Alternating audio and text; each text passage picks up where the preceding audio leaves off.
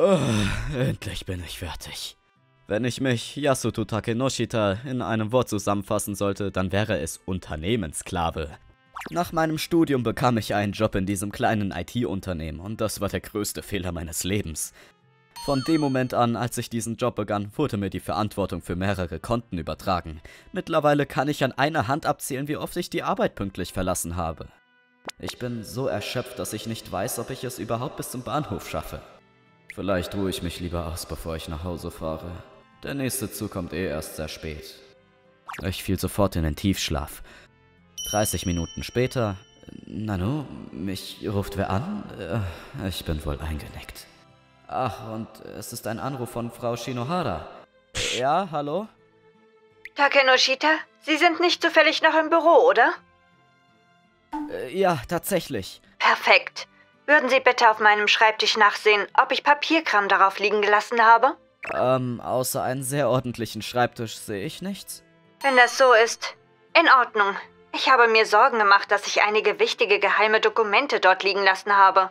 Oh, verstehe. Ich bin überrascht, dass jemand, der so perfekt ist wie Frau Shinohara, sich solche Sorgen macht.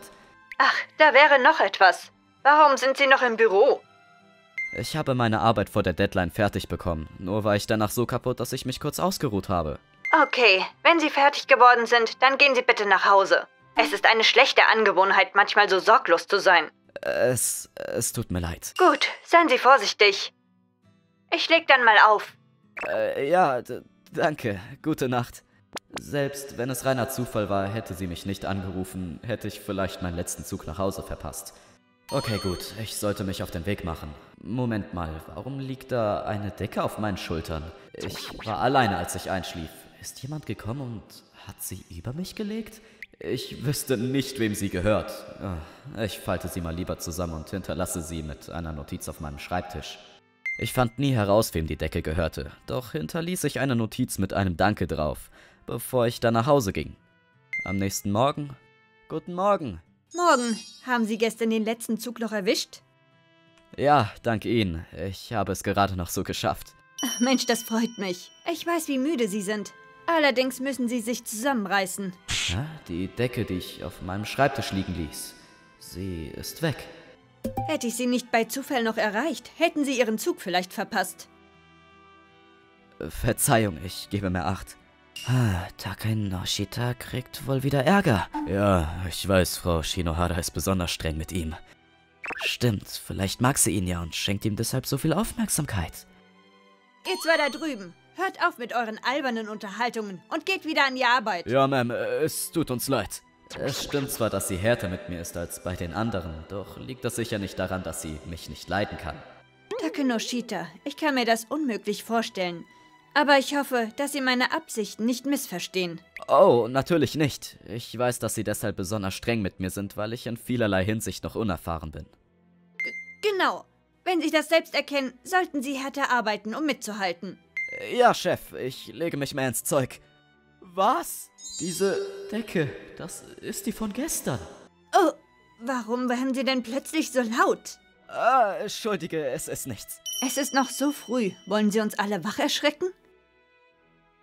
Sch sch schuldig, nicht meine Absicht.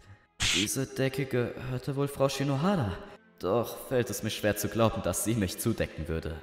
Aber wenn ich sie jemals danach fragen würde, Bitte was? Was reden Sie da? Sind Sie noch am Träumen? Natürlich würde sie das sagen. Am Ende konnte ich nicht fragen oder herausfinden, wer die Decke über mich gelegt hatte. Und zwei Wochen vergingen wirklich wie im Flug. Äh, Ich habe es geschafft, mal etwas früher fertig zu machen. Trotzdem ist es 22 Uhr. Ah, gut. Ich bin nicht so müde wie letztes Mal. Ich sollte mich fertig machen. Warte, spielen mir meine Ohren einen Streich oder habe ich gerade gehört, wie die Tür aufging? Wer kommt denn so spät noch ins Büro? Oh je, Yasuto schläft schon wieder. Das geht so nicht. Selbst wenn du Feuer und Flamme beim Arbeiten bist, holst du dir noch eine Erkältung. Wer ist das? Ich kann mich nicht daran erinnern, dass mich meine Kollegen mit Vornamen ansprechen. Ich muss ihn wohl wieder anrufen, bevor er noch seinen Zug verpasst. Ah, Er ist so kindisch. Moment mal, sie hat sich neben mich gesetzt und, und diese Stimme, ist das Fr Frau Shinohara? Warte, hat sie mich gerade etwa wieder zugedeckt? Wenn du weiter so süß bist, küsse ich dich noch, wenn du nicht aufpasst. Nein, so, nein, so etwas würde Frau Shinohara auf gar keinen Fall sagen. Deine Haare sind so flauschig. Wenn ich ihn zu sehr berühre, wecke ich ihn vielleicht. Ich muss vorsichtig sein. Das kann auf keinen Fall Frau Shinohara sein. Könnte ich doch auch nur nett zu dir sein, wenn du wach bist. Verzeih mir, dass ich so ein grimmiger Chef bin, Yasuto. Ist das wirklich das, was sie für mich empfindet? Mann, ich mag ihn so sehr. Warum kann ich nicht einfach ehrlich mit ihm über meine Gefühle sein? Warte, wow, Sie mögen mich? Was? Mist, das wollte ich nicht, aber ich konnte meine Reaktion nicht unterdrücken. Seit wann bist du wach? Ah, eigentlich habe ich nur einen Moment meinen Kopf abgelegt. Ach so. Nun dann, ich sollte jetzt gehen.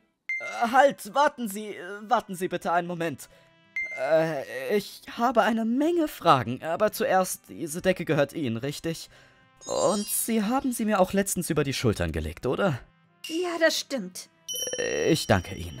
Und der Grund, warum Sie mich angerufen haben, war, dass Sie sicher gehen wollten, dass ich meinen letzten Zug nicht verpasse, oder? Ja, damals kam ich zufällig ins Büro zurück, weil ich mir Sorgen machte, dass ich wichtige Unterlagen auf meinem Schreibtisch vergessen hatte. Aber dann sah ich dich an deinem Schreibtisch und du sahst so ruhig aus, dass du ein Nickerchen gemacht hast. Also legte ich die Decke über dich und ging nach Hause. Verstehe. Ich danke Ihnen vielmals. Das bedeutet, dass sie bereits wusste, dass sie den Papierkram nicht vergessen hat. Aber sie rief mich nur an, um sicherzugehen, dass ich nicht verschlafen und meinen letzten Zug verpassen würde.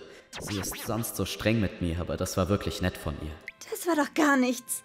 Ich habe dich nur angerufen und die Decke über dich gelegt, weil es unangenehm wäre, wenn du krank wirst. Ich werde jetzt nach Hause gehen.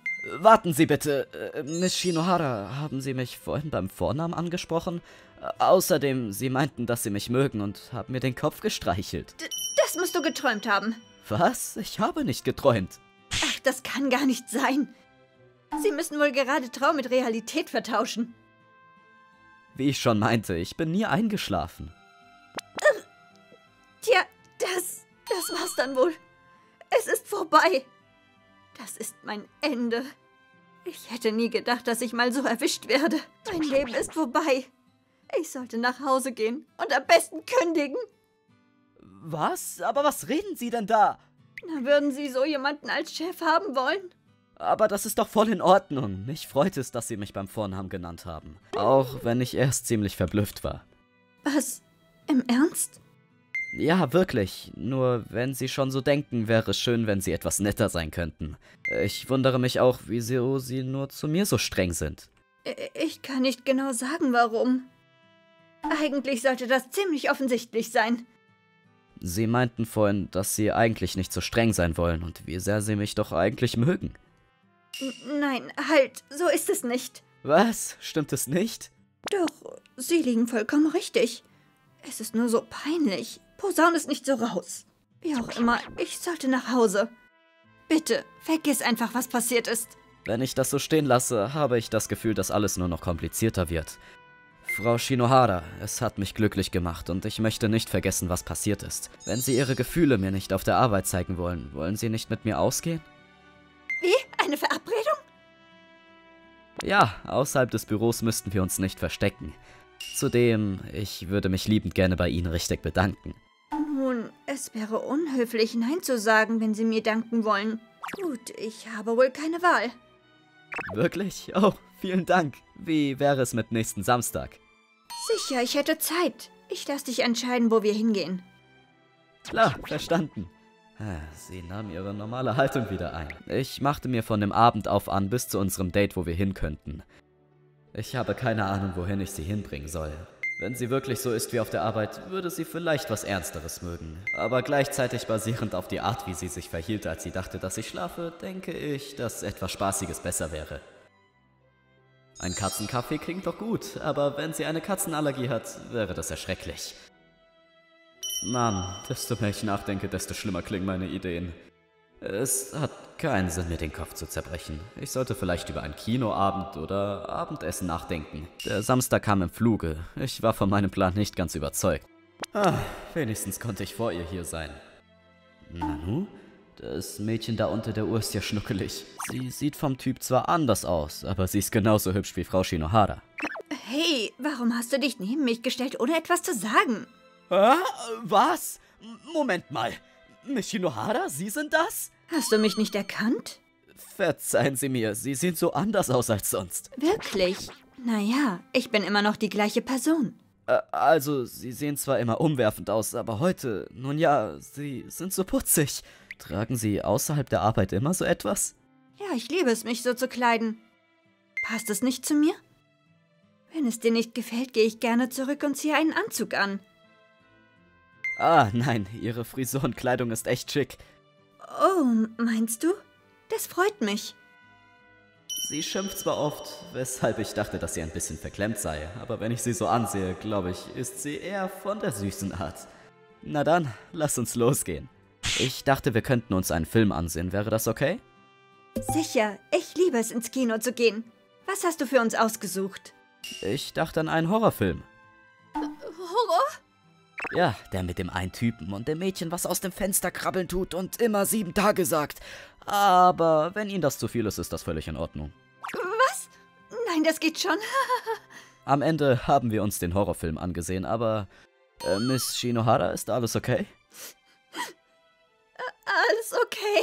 Frau Shinohara, ich wusste nicht, dass Sie nicht gut mit Horror sind. Sie haben ja die ganze Zeit wie erbittert meine Hand gehalten. Ich habe das Gefühl, dass ich eine ganz andere Seite von ihr sehe. Oh Ich bin etwas schreckhaft bei lauten Sachen. Wenn das so ist, wollen Sie noch einen weiteren bei mir zu Hause sehen? Hey, du bist gemein. Verzeih mir, es ist nur so lustig, dein wahres Ich zu sehen. Ist das denn wirklich so lustig? Irgendwie schon, du bist süß. Eigentlich dachte ich immer, dass du erwachsenere Frauen, die Reife zeigen, eher magst. Hä? Wann meinte ich das denn? Du hast das bei unserem Firmenouting gesagt. Oh je, du hast das gehört?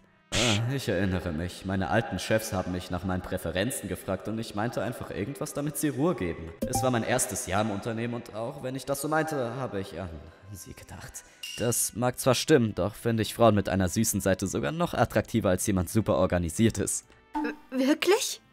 Ja, deshalb hatte ich gehofft, dass Sie mir diese Seite von Ihnen mehr zeigen würden. Zumindest an unseren freien Tagen. Wäre das in Ordnung? Hm, wenn du mich schon so lieb fragen tust. Einverstanden. Wollen wir nun zu meinem Lieblingsort? Echt? Ja klar, lass uns gehen. Ich folgte Frau Shinohara und wir kamen an in einem... Ähm, wo sind wir hier? In eine Tierhandlung natürlich. Ich komme gerne hier an meinen freien Tagen her. Ach, wieso denn? Haben Sie selbst ein Haustier? Ich würde gerne eins haben, doch mein Vermieter erlaubt es nicht.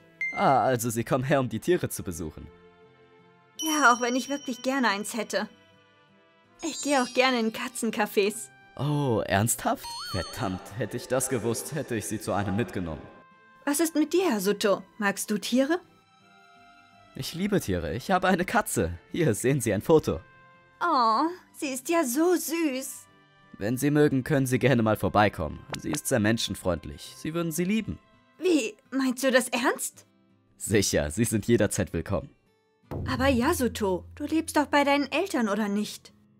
Ach ja, machen Sie sich nicht so einen großen Kopf. Wir könnten auch einfach in meinem Zimmer bleiben. Aber wird deine Familie nicht denken, dass ich deine Freundin bin? Oh, Entschuldige, mich würde das nicht stören, finde ich. Hätten Sie ein Problem damit? Du bist echt gemein. Ich meinte doch schon, wie sehr ich dich mag. Dass du das noch denkst, natürlich wäre das okay. Moment, wirklich? Danke. Nur fällt es mir schwer zu glauben, dass jemand so strenges mich jemals mögen würde. Zudem mache ich doch nur Ärger. Hm? Gut, ich erkläre es dir. Als du hier gerade neu angefangen hast, mochten mich viele der neuen Kollegen nicht. Was? Das glaube ich nicht. Obwohl, jetzt wo sie es erwähnt, sie hatte den Ruf, sowohl zu ihren Vorgesetzten als auch mit ihren jüngeren Kollegen streng zu sein. Viele haben sich schon oft beschwert. Ich weiß, dass viele hinter meinem Rücken über mich geredet haben. Doch einmal, als ich dringend ins Bad musste, war ich ziemlich verärgert. Dann habe ich gehört, wie sehr du dich für mich eingesetzt hast. Du meintest, Frau Shinohara hat nicht Unrecht und es ist unsere Schuld, dass wir unsere Arbeit nicht richtig gemacht haben. Oh, wirklich? Vielleicht kannst du dich zwar nicht daran erinnern, allerdings hast du vom Herzen gesprochen. Das werde ich nie vergessen. Es war nur richtig. Das ist also der Grund, warum sie mich mag für etwas so Kleines. Ich glaube, du denkst dir, dass es nicht der Rede wert war. Äh, Entschuldige. Weißt du, unser Büro ist hauptsächlich von Männern besetzt. Ich habe mich so ins Zeug gelegt, damit man mich ernst nimmt. Das war das erste Mal, dass ich das Gefühl hatte, dass jemand meine Bemühungen anerkennt, und ich war wirklich glücklich. So ist das also. Jetzt macht alles Sinn. Ja, aber danach habe ich mich dabei ertappt, wie ich dir immer mehr Aufmerksamkeit schenkte. Und ehe ich mich versah, war ich dir gegenüber am strengsten. Ich weiß, ich bin nicht perfekt, doch kann ich Gefühle haben? Ich danke dir vom tiefsten Herzen. Um ehrlich zu sein, mag ich dich auch. Ich bin so froh. Was? Guck doch nicht so überrascht. Ich liebe beide deiner Seiten, Michinohara. Amadi, die hart arbeitet, streng ist und zudem ihren Job wunderbar macht. Aber mag ich die Seite, die Katzen liebt, süß wie Zucker ist und Horror nicht mag. Miss Shinohara, wollen Sie vielleicht weiterhin mit mir ausgehen? Machst du Witze? Natürlich will ich. Aber auf der Arbeit werde ich mich nicht anders dir gegenüber verhalten. Ja, verständlich. Durch eine unerwartete Wendung habe ich die Wahrheit über Frau Shinohara herausgefunden. Und ich könnte nicht glücklicher sein. Ich kann es kaum erwarten, weiterhin beide Seiten von ihr kennenzulernen.